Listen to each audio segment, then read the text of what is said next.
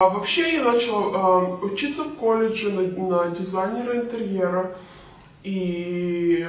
мы переехали, мы вышли за, мы женились или вышли замуж, как правильно, мы женились с мужем, потом мы переехали а, в Саут Каролайна, это прямо совсем другой конец Америки, мы жили здесь, где я сейчас живу, мы переехали в Саут Каролайна, и мне просто там было очень одиноко, и делать нечего, и мне там никогда не.